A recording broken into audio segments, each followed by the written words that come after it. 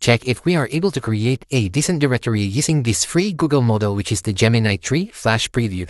As you know, we can get passive income by creating directories. You'll see right here, I've got several directories approved in Google AdSense. Disclaimer guys, they don't earn that much, so don't get disappointed, but there's passive income coming in every day just by doing display ads. So as you can see, one of my directory, I just submitted an application because I can see a good growth of traffic, this Reiki AU directory as I observed the Google Search Console. So these directories, I think, a two, three month old directory, and we can see a nice improvement in the traffic and the impressions. So I decided to apply a Google AdSense to see whether we can get approval. I will let you know, guys. As you can see, that's submitted just yesterday. I have a full tutorial on how you can easily get approval in Google AdSense with your directory websites. As you can see, I've got six directories approved via Google AdSense. So the full tutorial or full step-by-step -step instruction I am linking a video down below if you're interested to uh, follow that. So this is how it's going to look like. For example, this Toilets Australia directory. Let's open this. This is how it's going to look like once you completed the approach. And you will have the display ads from Google AdSense in your website. As you can see right here, they're all displayed nicely. And you will be earning from display ads daily when you get organic traffic from Google. So again, guys, they don't earn that much. I still suggest you put affiliate links, you sell products in your directory. That's where you can earn more. This one is more like passive income, but doesn't earn that much.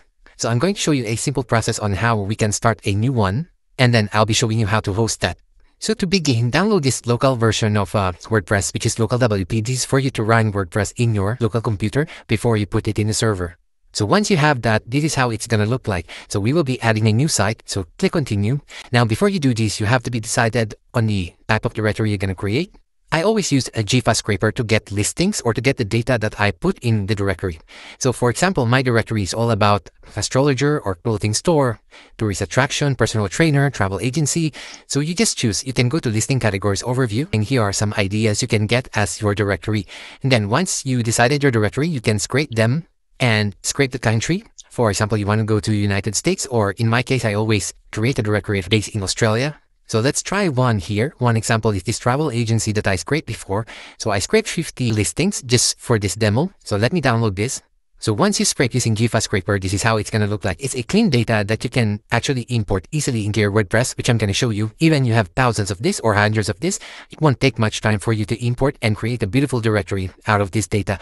Now, since it's just 50 listings, so we will be doing this as an example. Before you do this, you have to clean this a little bit, but not too much. You just need to go to the address info region column because some of these may have shortened version. For example, this MO, it's a shortened version state. So we want them to be full since uh, are just 50 listings. So that doesn't matter. We don't need much cleaning, but just in case you're creating a thousand listings, you need to make the state in full name so your directory will appear nicely. Now to do that easily, we will enable the filter right here and then here arrange this ascending. So look at this. You can now easily see which are the shortened state right here. This one is MO. So you can have it the full name just like that. All right. So you can go through the listing and save it. Make sure you save this. Now we go to the next step. Since we decided the travel agency, so we can continue setting this up travel agency in the US, for example, and then click on continue. This is just our local environment. We will be uploading this in the live server once we're all satisfied. Can continue. So once it's set up, click this to enable the one-click admin. So you don't need to type credentials when you go to WP admin dashboard. So when I click this, now we're running the local WordPress in your computer. It's time for us to create the custom theme and then import these listings. I have this one prompt directory maker that you can use to prompt this to any LLM. In our case, we will be using this Gemini 3 Flash Preview, but the best model to use is Sonnet 4.5, the Claude Anthropic model. Most of my directories, just like this one, they're created using Sonnet 4.5. You won't have any issue. But just for the sake of uh, testing whether this free model can create a decent directory, let's go ahead and let's try this. Open a VS Code. If you don't have VS Code, it's an editor where we can put the prompt and easily go vibe coding. Take this VS Code. So it opens up these WordPress files. Now download this extension of VS Code, which is Kilo Code right here. This is where we're gonna put the prompt that I showed you earlier. So we grab a copy of this, paste that in a blank notepad, just like this. Now we're gonna fill up this situation variable. So folder name, just have anything travel agency folder, and then site title will be travel agencies in US. just an example. Custom post key, so this will be the name of the post type. We just have it travel agency, so no space and singular form. Taxonomy, this is the category, so we will categorize it based on the state, so just put it as state. That's why we need to importantly make this address info region in proper format. That's gonna be the categories. Now team name, just have it travel agency, Gemini, tree, flash. Alright. And Google category will just be travel agency, country, United States. And color palettes, you can leave this as, you can remove that. It's optional. Let the Gemini model decide the color palette. That's it. We're ready to go. So copy this and go to VS Code. Now you can paste that right away here and start doing the vibe coding. But first, make sure the configuration is correct. Click the configuration icon right here and then select the API provider, Google Gemini, and get API key. So you can do that by going to your AI Studio, and here you will see the Get API Key, and here you can create your API key. As you can see, I'm using free tier. Now I'm gonna copy the API key that I set up earlier, and make sure paste that right there, and save then done. Alright, we're ready to vibe code this, and let's see whether we can create a decent one. Let's go. Okay, now we're accepted, so we'll just wait for a few minutes.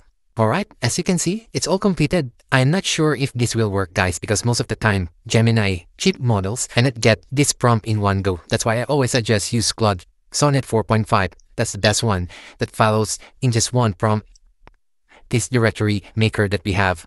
But if we can get a cheap model to make it work, then that's also a good option for us. So you'll see right here, there are a few files that's being created. I'm still not convinced if this can work. So we're gonna test this we go to WP admin and go to appearance, themes. So we should see the new theme right here. We can activate this. There we go. Uh, there's no issue. But before we see the directory, how it looks like, we need to install a few plugins. So first, go to add plugin. Now search ACF. Going to have to install this so our custom fields will be created correctly.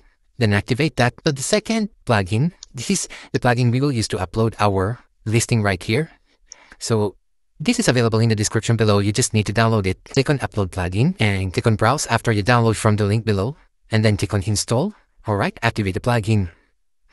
Alright, now we're ready to import. Before that, uh, go to ACF. Don't forget this step. These are all important. That's why you need to watch this carefully. Go to Field Groups. So usually there is a sync right here since I'm already convinced that it's gonna work the first time. So we'll just mention I don't see the sync in ACF.